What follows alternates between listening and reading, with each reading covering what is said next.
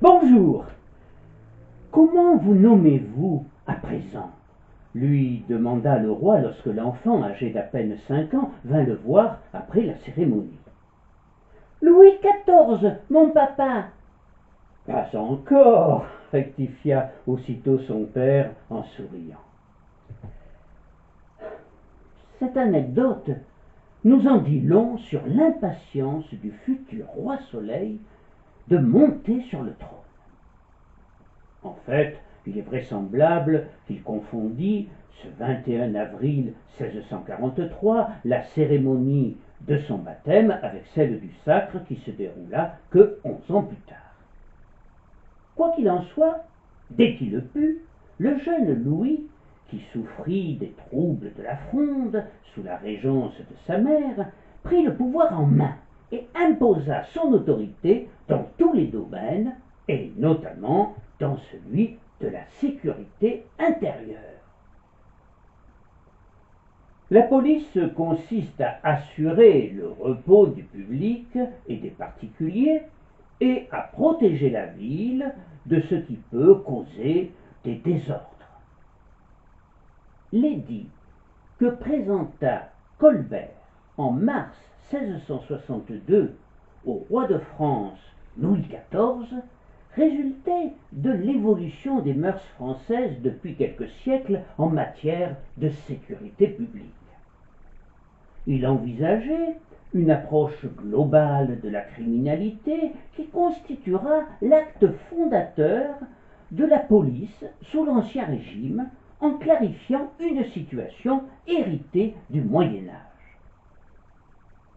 La charge de lieutenant général de police qu'il institua avait pour but de créer un pouvoir autonome veillant à la bonne marche de la cité, quelque pression qu'elle puisse subir.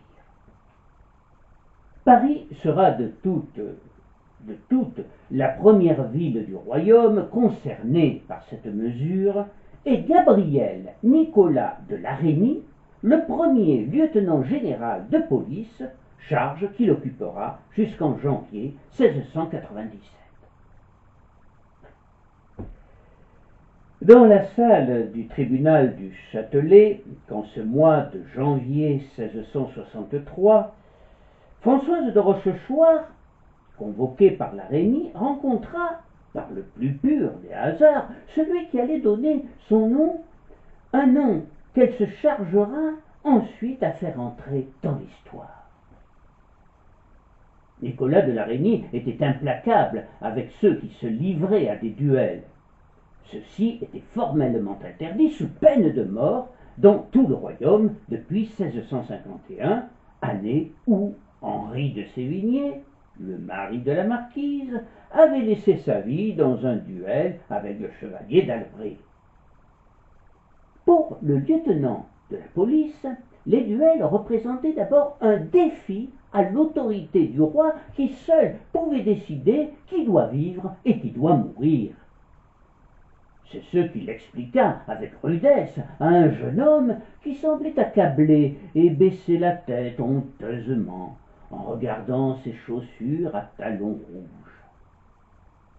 Le jeune Louis-Henri avait visiblement du mal à réfréner ses sanglots, et on pouvait le comprendre. Il pleurait en effet son frère, son propre frère, Dantin, dont la hache du bourreau avait tranché la tête, place de grève, ainsi qu'à cinq autres jeunes nobles participant comme lui à un duel à la suite d'une altercation après un bal bien arrosé. Euh, deux autres breteurs, dont un certain Noirmoutier avait pris la fuite avant l'arrivée des Argousins. Après s'être fait rudement tenser par le redoutable Larénie, Louis-Henri croisa une jeune personne essoufflée qui entrait dans la salle en dégrafant son manteau. Elle abaissa la capuche sur ses épaules et s'excusa de son retard assurant au chef de la police qu'elle venait seulement d'apprendre la terrible nouvelle. Son futur époux, Louis Alexandre de la Trémoille, marquis de Noirmoutier, avait quitté précipitamment la France pour le Portugal après ce duel sanglant afin d'éviter l'arrestation. La voix de la jeune personne est douce, et son visage au teint de lait, ses yeux verts des mers du Sud, ses boucles blondes à la paysanne subjuguent toutes les personnes présentes. Louis-Henri en a le souffle coupé, et l'araignée lui-même semble soudain figé à la vue d'une telle beauté. Mais il reprend très vite ses esprits et assure haut et fort que s'il revient en France, la trémoille sera aussitôt décapitée. La jeune beauté murmure alors dans un soupir Je n'ai plus de futur mari. Louis-Henri lui répond l'écho Je n'ai plus de frère. Puis il se présente. Louis-Henri de Pardaillon de Gondrin, marquis de Montespan. Les deux jeunes gens sortent ensemble du palais de justice du Châtelet, se réconfortent mutuellement et finissent par converser presque familièrement. Euh, sans doute sympathisent-ils très vite. Euh, sans doute Cupidon les accompagnait. Car, moins d'une semaine après, sous les voûtes de l'église Saint-Sulpice, Françoise de Rochechouart de Mortemart épousait Louis-Henri de Pardaillan, marquis de Montespan. Leur mariage démarra sur les chapeaux de roue. Les roues du flamboyant carrosse de Louis-Henri, bien entendu, un carrosse couleur vert pomme, agrémenté de dorures et arborant sur les portières les armes du marquis de Montespan. Louis-Henri était un homme bon, doux et pacifique, féru de peinture, respectueux des gens et des lois, mais qui met un peu trop sans doute la bonne chair, les beaux habits et les objets précieux. Bien que ne disposant pas d'une grande fortune, il dépensait souvent à tort et à travers, sans songer au lendemain. Par ailleurs, c'était un Gascon, et il avait donc le sang chaud, ce qui ne pouvait que plaire à la jeune mariée, qui en redemandait toujours. Ah, ils s'adoraient, comme il n'est pas permis, et leur bonheur était incommensurable. Ils avaient loué la maison du perruquier Joseph Abraham, rue Taranne, dont la boutique se trouvait au rez-de-chaussée, et là, c'était chaque jour la Dolce Vita. Ils s'amusaient sans compter, jouaient aux cartes et perdaient, se ruinaient en habits, bijoux, festins, et en cinq mois, ils épuisèrent les quinze mille livres de rente annuelle versées par les parents de Louis-Henri et la dot de son épouse. C'est alors qu'une petite cité lorraine Marsal entra en rébellion contre le pouvoir du roi. Et celui-ci annonça aussitôt son intention d'envoyer un corps expéditionnaire pour assiéger la ville. Ah, voilà une opportunité pour Louis-Henri de redorer son blason auprès du roi, et puis de gommer les fautes de sa famille qui avait autrefois un peu frondé. Et puis surtout, criblé de dettes en raison de son grand train de vie et n'ayant pas le droit de travailler, étant aristocrate, il pensa que c'était le seul moyen de s'en sortir, même si, dans un premier temps, il allait s'endetter davantage encore, car plus de l'achat de la charge militaire, en plus, il devait également financer sa compagnie. Chevaux, tentes, lits, uniformes des soldats étaient toujours payés sur l'escarcelle personnelle du gentilhomme souhaitant servir aux armées. Malgré les supplications de sa femme, qui redoutait qu'il se fasse tuer, le marquis était bien décidé de démontrer sa bravoure, en espérant donc quelque largesse financière de sa majesté, finalement reconnaissante. Et c'est ainsi que quelques jours plus tard, notre fougue gascon, juché sur son cheval blanc, arriva en vue de Marsal. Ah, c'est maintenant qu'il allait falloir montrer ce dont il était capable.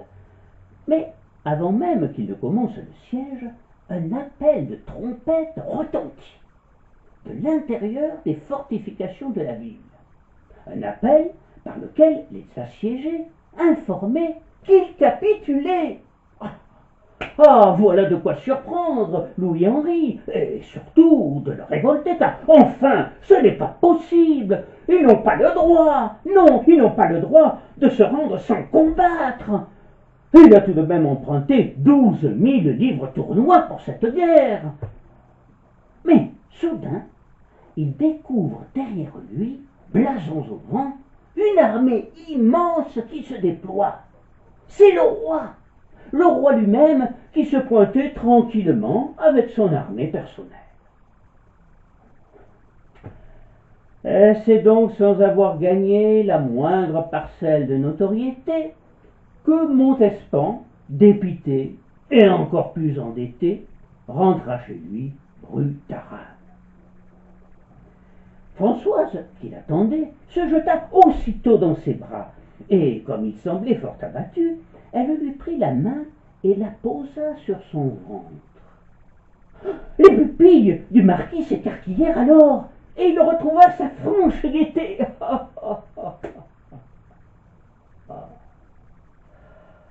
Ah, Marie-Christine était un très beau bébé. Elle avait les yeux de son père, un nez un peu trop gros, et sa bouche aux lèvres lipues, une bouche à baiser. Bref, c'était le portrait du marquis, un fort bel homme au demeurant, dans son habit gris lavande et sous sa monumentale perruque châtain. Mais, au fil des mois, c'est toujours vers sa mère que le regard de l'enfant se tournait. Une mère un tantinet distante. L'instinct maternel n'animera jamais beaucoup Françoise, même si elle n'aura pas moins de dix enfants. Il faut dire qu'elle fréquentait de plus en plus assidûment la cour où elle rencontra Louise de la Vallière, la favorite du roi. La cour où elle se fit remarquer aussitôt par sa beauté et sa grâce. C'est à ce moment-là qu'elle commença à se faire appeler Athénaïs, pour sacrifier à la mode de l'Antiquité dans la bonne société. C'est aussi à ce moment-là qu'elle inventa un style de coiffure qu'elle baptisa Hurluberlu. Tiré sur le front en arrière et maintenu par un cerceau au sommet du crâne, ses cheveux retombaient de chaque côté en cascade de boucles qui encadraient le visage.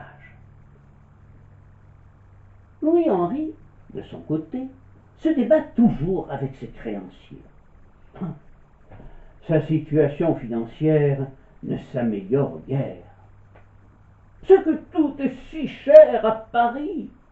Et puis, de domestique à demeure, euh, une cuisinière, par ailleurs excellente, la bonne Madame Larivière, qui préparait si bien les pigeonneaux en bisque, son livre de loyer pour l'appartement, l'entretien du carrosse et de son cocher, euh, voilà qui n'arrange pas les choses, sans parler des dépenses somptuaires de Françoise, euh, enfin, pardon, d'Athénaïs. Celle-ci lui suggère bien, en souriant, d'aller vivre à la montagne, dans les contreforts des Pyrénées, dans son château de Bonnefond. en voilà bien une idée.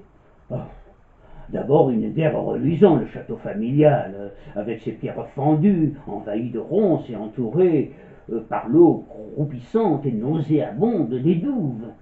Oh, et puis, soyons sérieux, Françoise Athénaïs mérite mieux. Et il la pousse à continuer à s'amuser et à briller à la cour.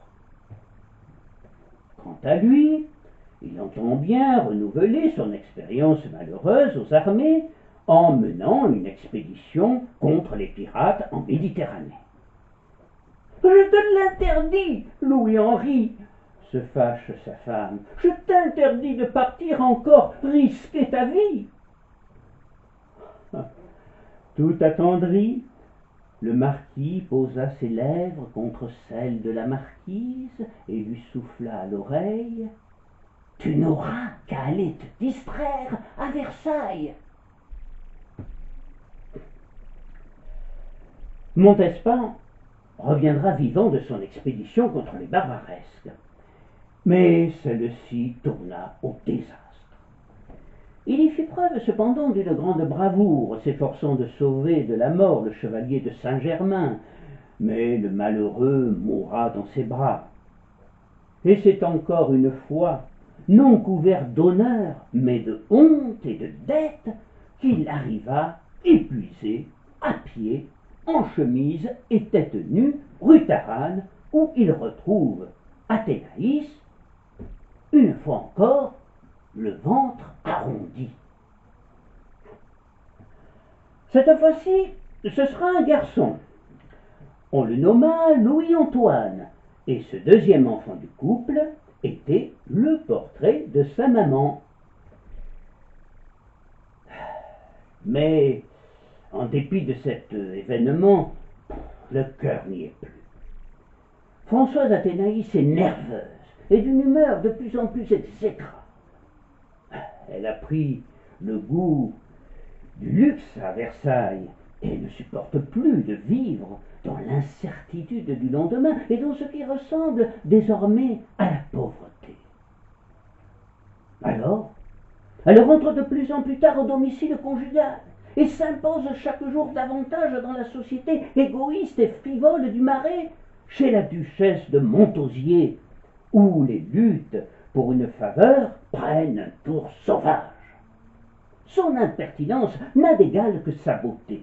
Ses persiflages fusent et n'épargnent personne, pas même le confesseur du roi, sur lequel elle dit Ce père Lachaise est une vraie chaise de commodité.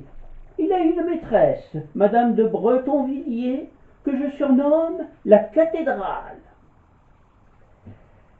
Son esprit, comme sa beauté, en feront bientôt une dame d'honneur de la reine. De surcroît, les attentions du roi à son égard se multiplient. Collier de perles, revenus d'un impôt parisien, titres divers. Le marquis est très surpris et heureux. Il est surtout heureux de voir le bonheur illuminer le visage de sa femme.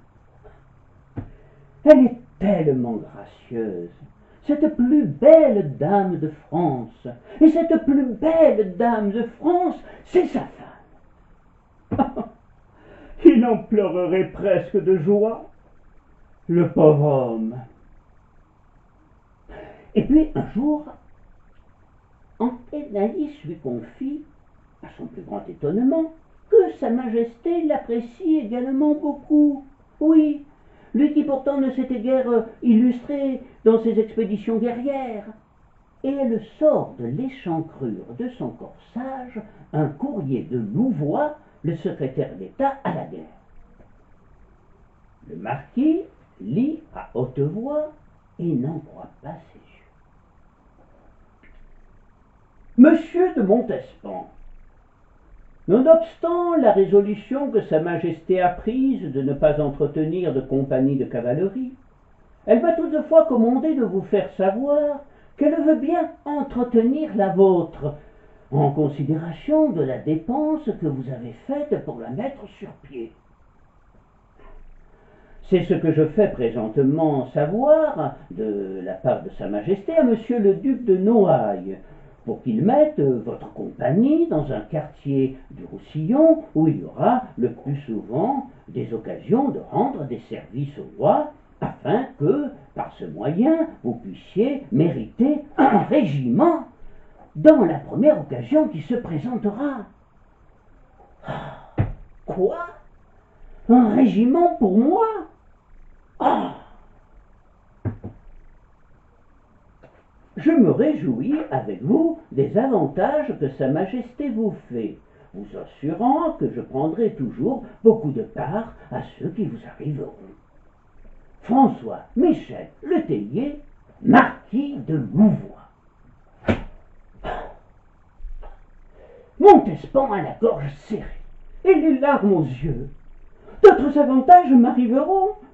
Mais, mais pour quelle raison? Il sait bien que ces dernières expéditions guerrières ont, ont tourné au désastre. Athénaïs, à qui il s'est adressé, répond de manière évasive, en soulignant la grande bonté du roi, puis change très vite de sujet. Ah, c'est vrai que le roi est bon et magnanime. Louis-Henri le savait. Il en est à présent persuadé. Le grand Héraclite disait à propos de la guerre Elle est la mère de toutes choses. Elle fait les dieux, les maîtres et les esclaves. Même s'il ne connaissait pas le philosophe grec, tous les gentilshommes de la cour pensaient ainsi, et il ne pouvait donc pas s'offusquer des idées de Louis XIV à ce sujet. Le petit-fils de Henri IV, persuadé que son règne et sa propre valeur seraient jugés d'après la manière dont il ferait la guerre, et que les victoires militaires indiscutables pouvaient seules lui permettre de rentrer dans l'histoire. Jusqu'ici, il n'y avait rien eu de très sérieux. L'expédition contre Marsal, la ville rebelle, l'intervention de Marseille, autre cité rebelle, et les combats maritimes contre les barbaresques. Ce qu'il fallait pour faire la guerre, une vraie guerre, c'était d'abord une armée bien organisée. Une fois cette armée bien organisée, et Louvois eut en l'occurrence la première occasion de démontrer ses talents en la matière, il ne restait plus qu'à la faire. La guerre. Encore fallait-il trouver un prétexte, si j'ose dire. Louis déterra donc du fond des abîmes des âges un droit de dévolution en vertu duquel il réclama haut et fort, au nom de sa femme, la reine Marie-Thérèse, fille du roi d'Espagne, dont la dot n'avait jamais été payée, les Flandres, la Franche-Comté, le Brabant et le Luxembourg. Puis, le roi Soleil, pour le roi Soleil, il fallait remobiliser la noblesse de France, à laquelle huit années de paix avaient paru insupportables. Le 31 mars 1667, il signe avec le Portugal un traité qui était le dernier élément de son dispositif diplomatique euh, qui s'avérera fort habile. Et en mai, il se mit en campagne. Ah, la noblesse ravie se prépara aussitôt à la guerre. La guerre? En fait, on ne la déclara même pas. Ah non À quoi bon? Pour tout dire, il ne s'agissait que d'une simple affaire de famille. Le roi allait tout bonnement saisir des terres appartenant à sa femme. Une fois encore, le marquis de Montespan est prêt à en découdre, en avançant toujours les mêmes arguments et en en ajoutant un de plus. Il faut bien mériter la confiance du roi qui lui la lui manifeste par toutes ses bontés. Cette fois-ci, toutefois, Françoise ne le retint que mollement. Mais à la veille de son départ, elle déclare tout de go que le roi est amoureux d'elle. ah, Louis-Henri lui rétorque alors qu'un homme normal, bien constitué, quel qu'il soit, ne peut être qu'amoureux d'elle. Il éclate de rire. Avant de quitter Paris, il signa une procuration avec pouvoir de puissance à l'effet de gouverner tous leurs biens communs pendant son absence, car il avait toute confiance en elle. L'expédition contre l'Espagne fut rondement menée. Les Espagnols ne résistèrent pas, ou peu, et le roi, couronné d'un grand panache blanc flottant sur son chapeau, put se mêler familièrement aux soldats tranches et démontrer à tous son courage, sinon ses talents militaires. Quant à Louis-Henri, il joua encore de malchance. Sur sa monture, mousquet au poing, il s'était élancé à Puicherda, au cœur de la bataille, avec un courage qui forçait l'admiration de ses hommes. Mais il reçut une douzaine de blessures aux bras, aux jambes, à la tête, et son cheval touché meurt entre ses jambes. Alors, le malheureux en sang rampa sur le sol et s'efforçant de rejoindre sa compagnie. Sans doute songea-t-il alors à cette guerre aux frontières pyrénéennes à laquelle il avait voulu encore se mêler, et à la vie misérable qu'il menait depuis presque six mois, loin de sa femme adorée. Finalement récupéré par ses chevaux légers, il délire et croit voir sa femme partout. Son maréchal des logis, le jovial Carté, le rassure. Il vient d'apprendre que sa femme assiste en toute sécurité auprès de Sa Majesté, dans son carrosse royal, et de la reine, au combat dans les Flandres, et que tout va bien. Tout va bien donc. Sauf pour lui et pour sa compagnie qui bat en retraite en le ramenant plus mort que vif. Mais l'exception ne confirme-t-elle pas la règle?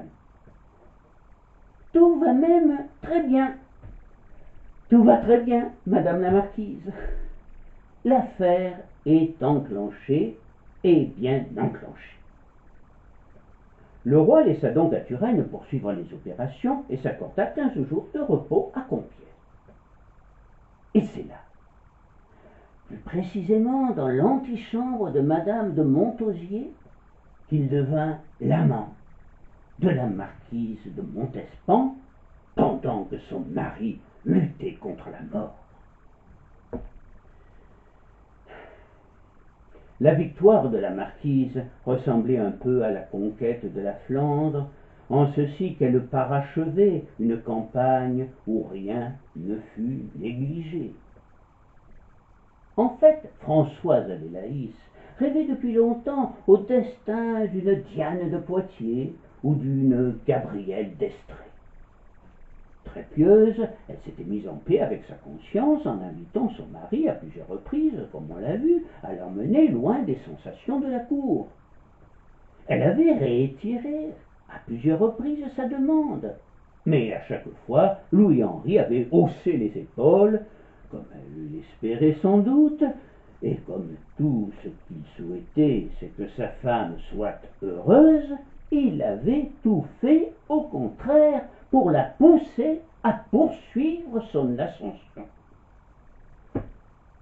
Avançant pas à pas, la marquise était devenue d'abord l'amie de monsieur, frère du roi, puis celle de la reine, qui admirait sa dévotion et ses discours vertueux. Enfin, l'intime de la Vallière, ce qui lui permit de faire valoir devant le roi son esprit et sa beauté également célèbre.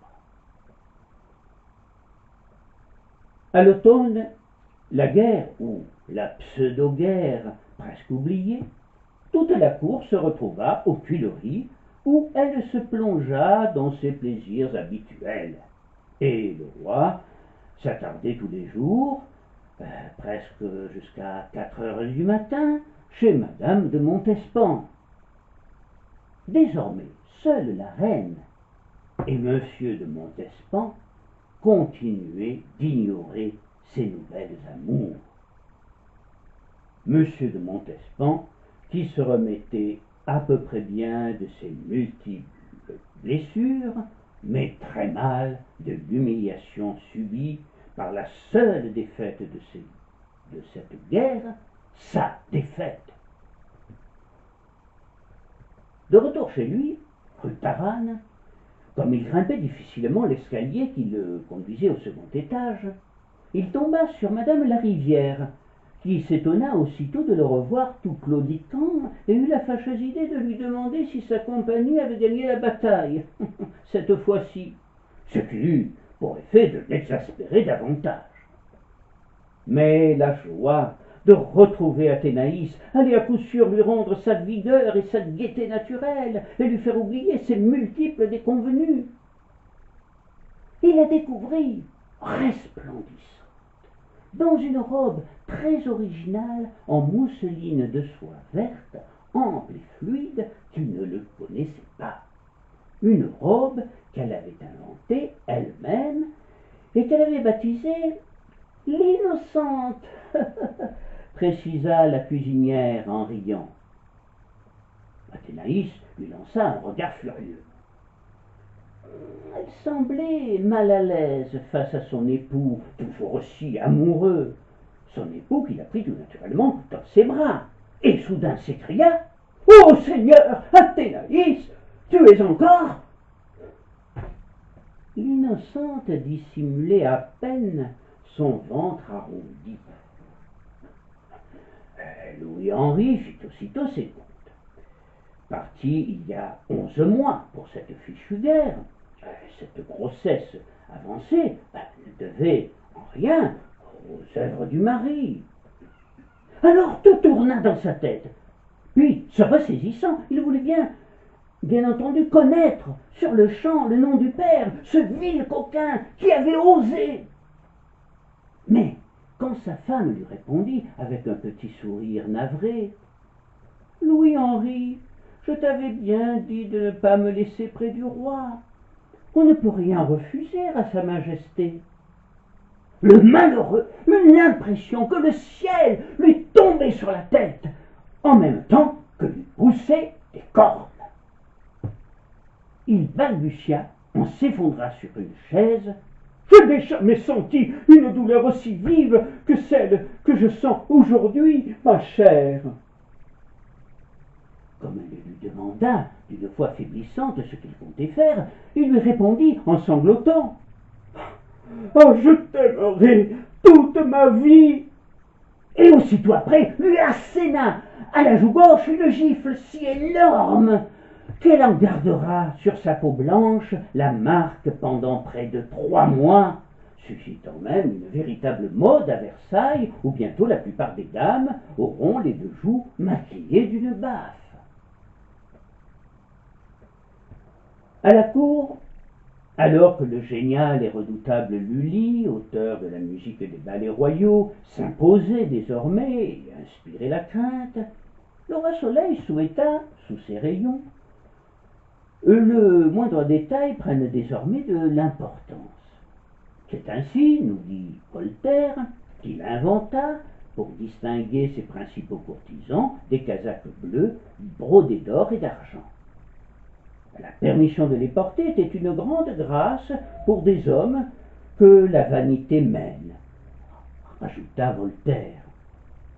Presque partout en Europe, on se piqua d'imiter la cour de Louis XIV et on se mit à porter la grande perruque léonine. Jusqu'en 1670, le roi avait pu s'enorgueillir de montrer ses propres cheveux. À partir de cette année 1670, d'ailleurs, le roi ne cache pas sa satisfaction. Il est persuadé, en effet, d'avoir trouvé en Françoise Athénaïs sa véritable compagne. Mais rien n'est encore officiel. On a tout dit sur elle, sur cette triomphante beauté, selon le mot de Madame de Sévigné, cette déesse resplendissante, pétillante, arrogante, mordante, débordante, ivre d'orgueil, de sensualité, de cruauté, furieuse en ses colères, en ses jalousies, en ses haines, enchanteresse et sacrilège. J'ajouterai que sa beauté n'avait d'égal que son esprit, et c'est là un point non négligeable. Saint Simon lui-même le soulignera, il n'était pas possible d'avoir plus d'esprit, de fine politesse, d'expression singulière, d'éloquence. Elle avait par ailleurs un caractère bien trempé, et elle était souvent effrontée et insolente, même envers le roi. Elle se plaisait à le provoquer constamment, le défiant à table comme dans l'alcôve, et c'est ce qui l'enchantait le plus chez elle, car Louis, qui en avait parfois un peu marre des courbettes, aimait de plus en plus que l'on s'oppose à lui, qu'on le provoque, qu'on lui tienne tête. Hein, c'est ce que fera constamment Françoise, avec une grande habileté. Louis, après tant de succès, montrait une gaieté admirable et ne se séparait plus de la Montespan. Mais bientôt, la Vallière, de nouveau enceinte du futur comte de Vermandois, subodora le plan de la Montespan et s'acharna à défendre bec et oncle ce qu'elle considérait comme son bien, le roi.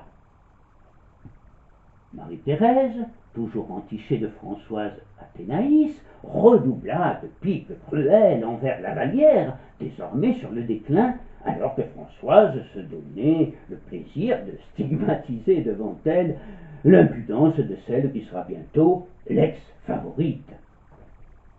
Dieu me garde, disait Françoise, d'être la maîtresse du roi. Elle jouait le meilleur rôle de cette comédie, inspirée, semblait-il, de l'huître et les plaideurs, et se moquait ouvertement de ses deux victimes.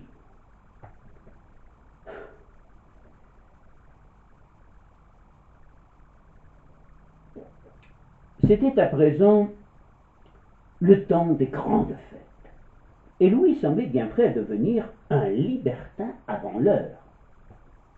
À Versailles, chaque fête dépasse en splendeur la précédente. Molière y joue Georges Dandin, et l'auguste public rit à gorge déployée du pauvre Cornard sous le masque duquel se devine l'infortuné marquis de Montespan. Le feu d'artifice, se reflétant dans les croisées remplies de statues diversement colorées, transfigure le château en palais de soleil, tandis que la colère et l'esprit de vengeance transfigurent Louis-Henri et font de l'agneau un loup redoutable et cruel. Les yeux rougis, la perruque en bataille, lui, autrefois si doux et si aimable, est devenu intenable. Il a juré tout le monde, terrorise les courtisans, crie que le roi est un second David, un voleur, un vil séducteur, un monstre de lubricité. Aveuglé par la rage, il n'écoute pas les conseils de sagesse de quelques âmes compatissantes, et lorsque, quelques mois plus tard, naît le premier fils des amants magnifiques, il entreprend de mener une guerre impitoyable contre celui qui n'y a pas si longtemps il vénérait et servait avec un grand dévouement. Ce premier enfant, qui en précédera bien d'autres, sera confié à la veuve Scarron, née Françoise d'Aubigné, une jeune femme dévote, de bonne famille, mais démunie de ressources, et dont personne ne pouvait alors imaginer le destin exceptionnel. Elle deviendra dans quelques années Madame de Maintenon et supplantera Françoise dans le cœur du roi vieillissant. Pour en revenir à Montespan, son attitude est incompréhensible pour toute la cour. Mademoiselle de Montpensier écrit stupéfaite C'est un homme extravagant, extraordinaire, qui se plaint à tout le monde de l'amitié du roi pour sa femme. Athénaïs, elle déclare tout de go. Oh, votre mari est plus fou que jamais. Oh, je l'ai fait gronder et lui ai dit que s'il ne se taisait, il mériterait qu'on le fît enfermer. Athénaïs lui répond Il est ici qui fait des contes dans la cour. Je suis honteuse de voir que mon perroquet et lui amusent la canaille. Quant au roi, il dit tout simplement C'est un folle Et il ne croit pas si bien dire. Louis-Henri est bien fou, fou d'amour, fou de passion, fou de douleur. Et tout cela l'entraînera dans les pires extravagances et violences, allant jusqu'à tenter de violer sa femme, puis Madame de Montausier qui s'interposait.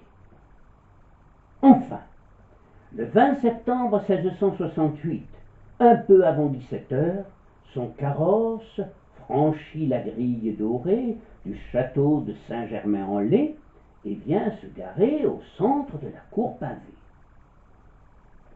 Louis-Henri l'a fait repeindre en noir et a fait remplacer les quatre plumées aux angles du toit par de gigantesques ramures de cerf. Un grand voile de crêpe enveloppe tout le carrosse, lui donnant une apparence funèbre, et les chevaux noirs sont parés comme pour un enterrement en grande pompe. Au dessin de ses armes sur les portières, Louis-Henri a fait rajouter des cornes couleur or. Lui-même impressionne les gardes lorsqu'il descend de sa voiture. Il est revêtu de grand deuil et porte un grand chapeau retourné dont on ne voit que l'intérieur. Il grimpe les marches qui mènent au château et arrive dans la somptueuse salle des pas perdus au milieu des courtisans, il attend que le roi sorte de son conseil. Les courtisans, affolés par une pareille audace, s'éloignent. Le marquis se fige seul, dans une attitude impériale, devant la porte par où le roi va sortir. Lorsque le monarque sort enfin, Montespan marque un instant de surprise. Il ne l'avait jamais vu de près. Le savait plutôt petit. Oh, oh, mais pas à ce point-là. C'est donc lui, ce nabot qui tente de compenser sa petite taille par des souliers à talons hauts, ce cacochine enrubané, cet avorton ridicule devant lequel tout le monde se couche. C'est lui qui a si odieusement volé sa femme. Oh, comment cela est-ce possible? Louis le quatorzième, entouré de ses ministres, s'arrête devant le marquis et lui demande Pourquoi tout ce noir, monsieur? Alors que l'étiquette commande de se découvrir devant Sa Majesté, Louis-Henri se coiffe maintenant d'un chapeau gris et répond Sire, je porte le deuil de mon amour. Le deuil de votre amour? Oui, sire, il est mort pour moi. Une canaille l'a tué. Oser, dans cette universelle ruée vers la servitude la plus rampante, élever la tête au-dessus des dos courbés et accuser l'idole en face, c'était. c'était inimaginable. Tous ceux qui se trouvaient là étaient glacés de terreur. Le bouillant gascon avait dépassé les bords. Ah, c'est bien vrai qu'il était fou, complètement fou. Qu'allait-il alors se passer? Le marquis s'inclina avec une révérence arrogante, prit son épée et la prise à la face du tyran pour ne plus le servir. Puis il tourna le dos au roi avec la plus grande désinvolture et s'en alla dignement. Personne n'osait bouger même pas le petit doigt. Et tous attendaient la réaction du roi. Dans un premier temps, celui-ci ne dit rien, digérant sans doute non sans mal cet affront invraisemblable. Puis, se ressaisissant, il s'esclaffa. eh bien quoi? Je baise sa femme. Que pourrais-je faire de plus pour lui? Ah, tout le monde se mit à rire autour de lui, forcément d'accord. Mais, comme on peut l'imaginer, l'affaire ne s'arrêta pas là, et le roi ne pouvait encaisser ce coup sans réagir. Les argousins du roi, le duc de Lauzun à leur tête, rattrapèrent très vite le carrosse funèbre du marquis, et celui-ci fut arrêté sur le champ et enfermé dans la prison du quai de la Mégisserie, surnommée Vallée de la Misère. Chaîne de fer aux bras et aux jambes, couché à même le sol sur la paille moisie, le malheureux tend soudain l'oreille. Par un haut soupirail, une raie de lumière se glisse dans l'étroit cachot, et Louis-Henri perçoit le chant du peuple de Paris qui narre les amours du roi et ses couplets cruels. D'un roi, le fait est honorable, peste, je le sais bien. Un noir chagrin serait très condamnable, ce serait fuir le bien. Et quelques instants plus tard, le marquis se surprend à reprendre ce couplet en sanglotant. Un mois plus tard, il est libéré, mais exilé dans son château de Bonnefond en Guyenne. Il se trouve déjà sa mère et sa fille, avec défense expresse d'en sortir sous peine d'être décapité ou envoyé aux galères. Il n'a que quelques heures pour récupérer ses affaires et son fils, rue Le malheureux, qui s'est décidément découvert des talents de chanteur en prison, rentre chez lui, à pied, tête nue et les vêtements en loques, en chantant à tue-tête. Un jour, on sèmera sur cette terre les eaux du roi de la guerre, si le terroir est de façon que pour un grain sans rapporte. Grand Dieu, grêlez sur la moisson et nous priver de la récolte. Les gens qui le croisent n'en croient pas leurs oreilles. Quel est donc ce fou qui ose chanter et clamer des vers aussi subversifs. Euh, Mais que peut-il lui arriver de pire, euh, après la prison et puis à présent l'exil? Que peut-il lui arriver de pire? Les galères ou la mort? Et il continue sur le même rythme.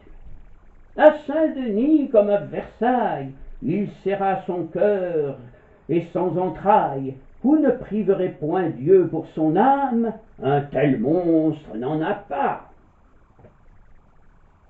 Le lendemain, dans son carrosse de deuil aux ramures de cerf, Montespan prend le chemin des Pyrénées, de ses Pyrénées natales, sous la risée du peuple de province qui, après celui de Versailles et de Paris, apprend à son tour les malheurs du marquis, qui devient pour tous désormais le marquis aux cornes d'or. Il est accompagné de Louis-Antoine, son fils de trois ans, qui ne cesse de lui parler de sa mère. Quelle douleur pour lui, car cette femme qu'il a trahie, il l'aime toujours, il l'aime passionnément. Au cours de son périple, car à cette époque un tel voyage était un véritable périple, il rencontre l'un de ses amis, le duc de Gardagne, qui conduisait sur les routes 300 condamnés aux galères, enchaînés au cou par euh, deux et reliés ensemble par une longue chaîne. Le pitoyable convoi se rendait à Marseille. Louis-Henri s'approcha avec son fils de ces hommes épuisés et écrasés par le poids des chaînes. Un sentiment de tristesse et de révolte monta en lui. Il demanda à quelques-uns pourquoi ils étaient là. En voilà un qui était condamné à vie pour un vol d'une miche de pain. Et un autre lui, lui confia qu'il était protestant. Louis XIV avait révoqué l'édit de Nantes en 1685, ce qui constitue sans doute l'une des plus grandes fautes, des fautes majeures même de son règne. Puis Montespan fut attiré par un jeune garçon 14 ou 15 ans au plus, qui pleurait comme un gosse. Il avait été condamné à 10 ans de rame pour un vol de poireaux chez son voisin. Ce jour-là, sans doute, le marquis prit conscience des excès de la politique du maintien de l'ordre en France, dont M. de la Reynie s'enorgueillissait, et de l'injustice de ce pouvoir Révolté par ce qu'il venait de voir et d'entendre, il retourna en maugréant vers son carrosse. Louis-Antoine lui dit alors Moi, je me plierai toujours aux exigences du roi. Le Gascon regarda alors son fils en fronçant les sourcils. Incontestablement, il avait été contaminé par Versailles et la cour. De son château délabré de Bonnefond, Louis-Henri de Montespan allait continuer et accentuer son combat contre l'homme le plus puissant de la terre. Il multipliera ses attaques contre lui, écrira euh, des lettres sulfureuses, des pamphlets contre le pouvoir, et des dizaines de pages dans lesquelles il stigmatise la politique menée par le régime, dénonce l'arbitraire royal, les lettres de cachet, les détentions sans jugement, condamne l'absolutisme, prône la liberté des consciences. Il aurait même écrit un traité d'une centaine de pages intitulé de la gouvernance du royaume et de la nécessaire évolution du pouvoir régalien. Je n'ai pas retrouvé trace de ce traité qui aurait inspiré, 120 ans plus tard, les philosophes des Lumières, notamment Jean-Jacques Rousseau et Voltaire, bien qu'il ait été pourtant évoqué par certains historiens du début du XIXe siècle. À propos de Louis XIV, on l'a maintes fois condamné, notamment à la fin de son règne, en raison justement de son despotisme et de son mépris des autres, mais on n'a jamais vraiment songé à le plaindre. Pourtant, ce ne serait que justice, si justement et justement parce que je crois que je ne suis pas trop tendre avec lui et qu'il n'a pas le plus beau rôle dans ce récit, je voudrais, quelques instants, me faire l'avocat du diable et tenter d'expliquer son attitude durant tout son règne envers tous ceux qui l'entouraient et qu'il traitait le plus souvent avec dédain, et en particulier avec sa malheureuse épouse, qui lui manifesta pourtant, jusqu'à son dernier jour, une adoration ingénue touchante, encombrante.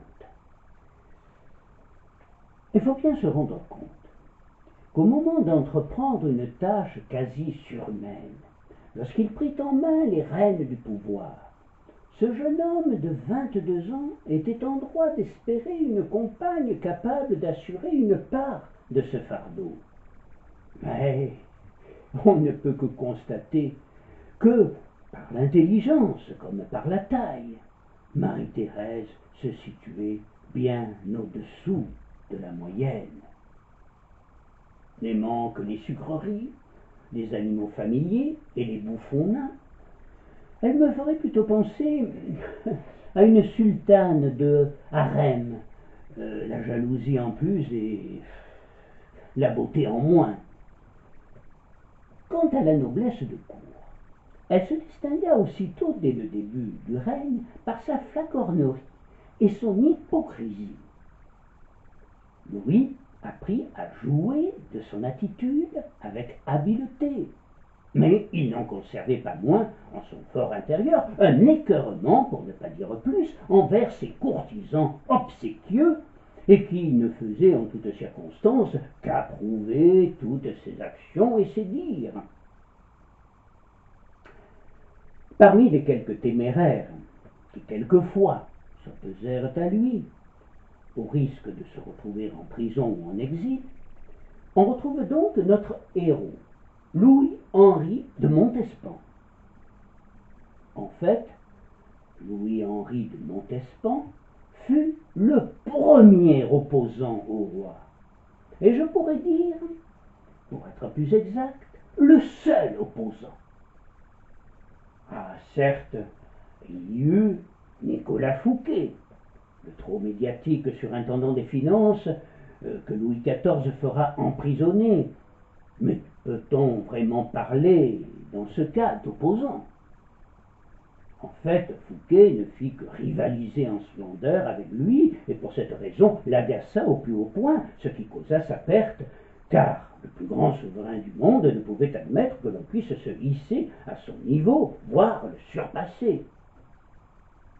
Le duc de Lauzun, courtisan insolent, auteur de nombreuses incartades, se trouvera lui aussi à un moment précis sur le chemin du roi, non pas en tant que véritable opposant, mais comme un gêneur, trop sûr de lui et manquant de souplesse. Il le paiera de neuf années de prison de 1671 à 1680. Et puis, il y eut le fameux masque de fer, dont, on s'interroge aujourd'hui encore sur l'identité. Peut-être, selon Voltaire, un frère jumeau du roi, ou le frère aîné qui aurait dû régner à sa place. Peut-être le duc de Beaufort, petit-fils naturel de Henri IV qui participa à la fronde et détestait Louis XIV. Ou encore le machiavélique Hercule Antoine Macioli, ministre du duc de Mantoue, un vaurien sans foi ni loi qui trahira à la fois le duc et le roi de France. Quoi qu'il en soit, ce personnage mystérieux était vraisemblablement plus dangereux par ce qu'il incarnait ou pouvait incarner que par sa volonté de s'opposer au régime. Restait donc le jovial marquis de Montespan, la personne au monde qui semblait la moins bien placée pour s'opposer au souverain jusqu'au jour où, prenant enfin conscience de son infortune, il se mit à disséquer toutes les attitudes, les décisions, la politique de l'homme qui avait osé lui ravir son bien le plus précieux, sa femme. De son château de Bonnefond, il multiplie les provocations contre le roi, dont l'une des plus spectaculaires restera la cérémonie funèbre à l'église de Bonnefond en présence de toute la population et des notabilités de la région invitées à assister aux obsèques d'un amour. Sur le cercueil, porté en terre, au sommet d'une colline, il fait placer une croix en bois où l'on peut lire deux dates, 1663, 1667. Mourir à quatre ans, c'est jeune. Il est soutenu cependant par quelques personnalités courageuses, comme son oncle, l'archevêque de Sens, qui menace Louis XIV d'excommunication et s'efforce de convaincre le pape à prononcer un blâme public contre le roi de France. Pour calmer l'ire du marquis, le roi ira jusqu'à lui envoyer un émissaire chargé de monnayer son silence et de lui proposer de restaurer son château en piteux état. Mais Montespan n'est pas homme à se laisser acheter, et il congédie avec perte et fracas le téméraire émissaire. Ah, la vie n'est pourtant pas très facile dans cette vaste demeure délabrée au pied des Pyrénées. L'argent manque, même pour le strict nécessaire. Le confort est spartiate. L'hiver, près de la cheminée, on brûle, mais sitôt que l'on s'éloigne, le froid vous prend partout. Madame Rivière, qui a rejoint Bonnefond, et le fidèle Carté, l'ancien maréchal des logis depuis Cerda, seconde pour le mieux Louis-Henri, notamment auprès des enfants. Mais Marie-Christine, malgré l'amour et les soins que lui porte son père, est triste, réclame toujours sa maman et dépérit inexorablement. N'étant pas parvenu à l'acheter, le roi va s'efforcer à présent à impliquer Montespan dans des affaires douteuses, puis des affaires de mœurs, allant jusqu'à le faire accuser de relations contre nature avec le pauvre Carté. Louis-Henri finira par devoir s'exiler en Espagne avec son fils. Rien ne lui sera épargné. Et de ce roi, il eut le grand malheur de perdre ensuite sa petite Marie-Christine, en avril 1675, qui s'éteint dans le couvent de Charonne à Paris, où il assistera, effondré, instants, tandis que la mère de l'enfant continuait à s'en donner à cœur joie avec son royal amant. Elle en est alors à neuf grossesses qui, ajoutées à sa gourmandise maladive, ont eu raison de sa fine silhouette. Moins d'un an plus tard, le roi sembla à nouveau changer d'attitude à l'égard du marquis récalcitrant. Il est autorisé à revenir à Bonnefond et voit son marquisat transformé en duché. Mais Louis-Henri reste droit dans ses bottes. Il est né marquis, il mourra marquis. Il mourra marquis si Dieu le veut. Dans son château ruiné, au toit crevé, Louis-Henri, marquis de Montespan, sent néanmoins ses forces, peu à peu, l'abandonner. Les hivers sont de plus en plus rudes à Bonnefond. Ce soir-là, enveloppé dans une lourde couverture de fourrure, il se réchauffe les mains au-dessus des flammes de la cheminée avant de prendre sa plume pour commencer à écrire.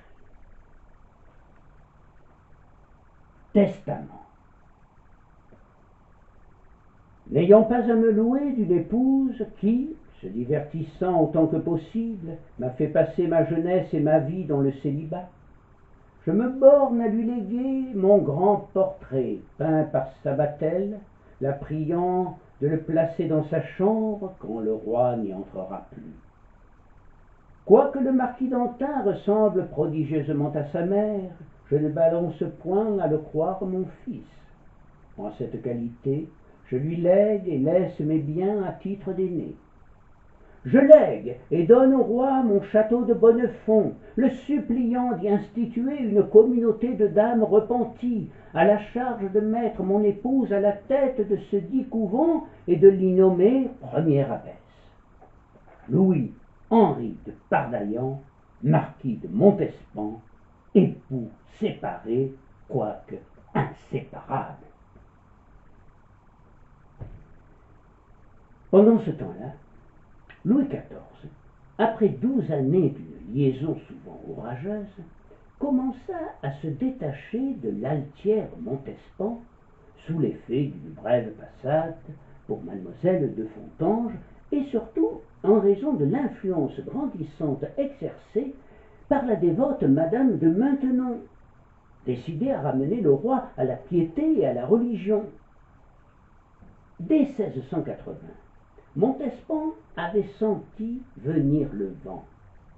1680, l'année de la fameuse affaire des poisons. Le 20 août, l'araignée apprend que la Montespan est impliquée dans cette triste affaire. L'horrible abbé Guibourg, qui célébrait des messes noires chez la fameuse Lavoisin, lui montra même le texte lu par la favorite au cours de l'une de ses messes, alors que l'on venait de la célébrer sur son corps nu.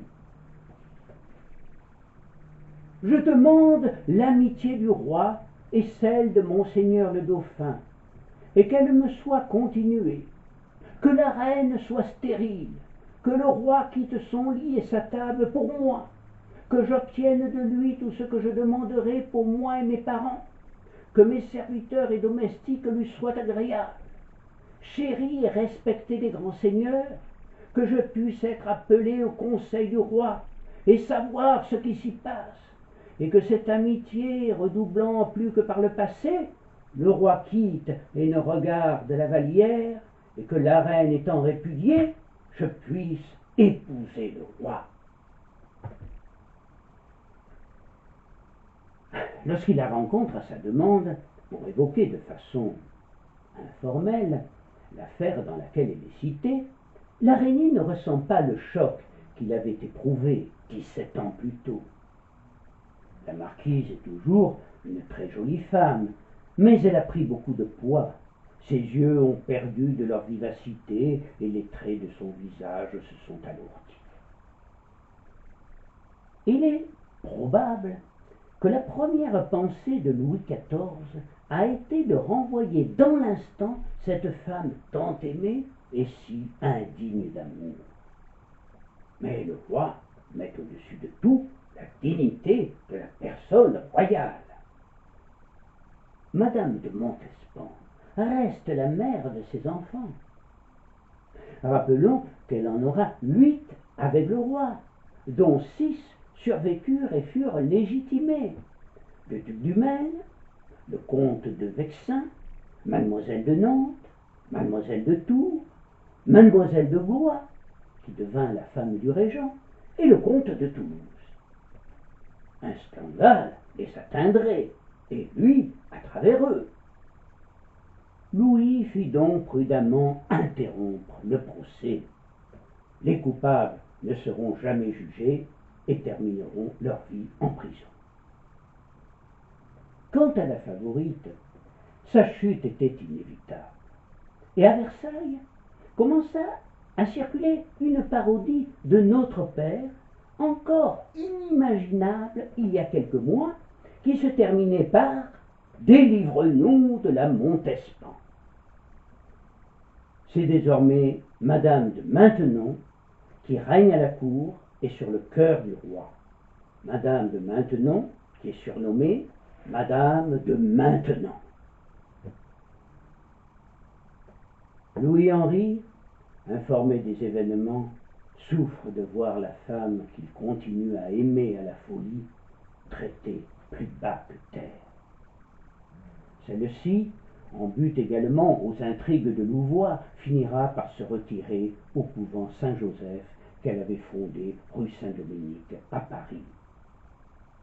Mais lorsqu'elle demandera pardon à son mari et le suppliera d'accepter qu'elle revienne auprès de lui, Louis-Henri, cassé et infirme, lui répondra aussitôt. Madame, je ne veux ni vous recevoir, ni plus ouïr parler de vous le reste de ma vie. Après avoir rédigé cette missive, se sentant littéralement vidé, il se coucha immédiatement. Carté, Madame la Rivière et les autres résidents du château entendirent le malheureux marquis crier et pleurer toute la nuit. Louis-Henri de Pardaillan, marquis de Montespan, meurt le 1er décembre 1691 dans la chambre glacée de son pitoyable château, âgé seulement de 52 ans. Il laisse à Françoise son portrait peint par Sabatel, et quelques instants avant de quitter ce monde, il murmura cette phrase superbe. Je ne réclame que la gloire de l'avoir aimé.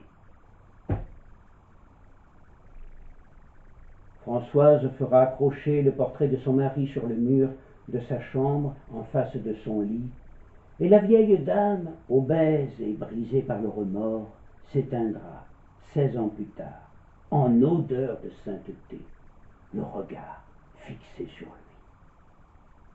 Le roi restera de glace en apprenant la mort de la marquise qui légua son cœur et ses entrailles au prieuré de Saint-Menou. Mais, en cours de transport, macabre épilogue à cette pathétique histoire, l'urne les contenant fut renversée accidentellement dans un fossé et s'ouvrit pour le plus grand bonheur des cochons et des chiens présents qui se disputèrent les restes putrides de celle qui fut l'objet d'une si violente passion. Je vous remercie.